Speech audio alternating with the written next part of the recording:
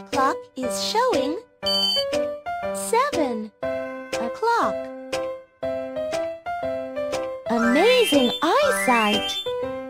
Hmm. Please help Kiki wear the clothes.